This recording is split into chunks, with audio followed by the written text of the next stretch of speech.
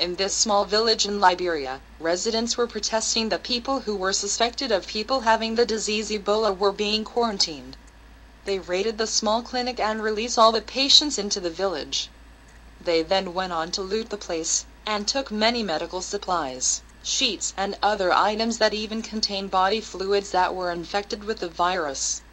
They say distrust of the government runs high in this village, and the people there even throw stones at the aid workers trying to stop this infectious disease from spreading.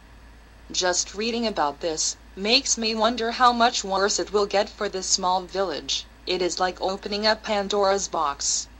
I hope this problem can be resolved quickly.